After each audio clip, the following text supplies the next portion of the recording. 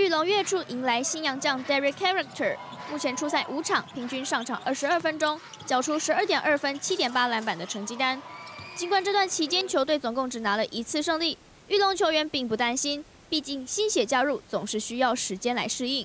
他也渐渐在融入大家，那也跟我们做一些讨论，教练团也有跟他做一些讨论。我相信很快他可以就是跟我们很融入在一起，然后可以越打越好这样。虽然说他可能比较没那么高，可是他其实蛮结实、蛮壮的。那他很会去利用他的身材优势，加上加上他自己的手感也还还不错。我觉得这是他自己这方面有他独到的一面这样。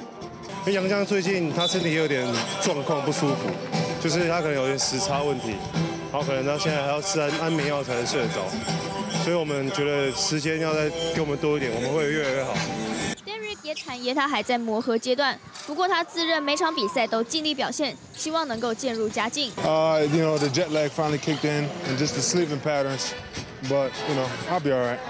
I played decently, you know, accordingly. Um, I think it's about the end results. I think about, you know, winning a championship. I think about helping my team win in the long run. You know, each game doesn't mean too much until, you know, playoff time and you're trying to win the playoffs and you're, you're trying to win a championship. So I'm trying to keep that focus and go out here and play well today.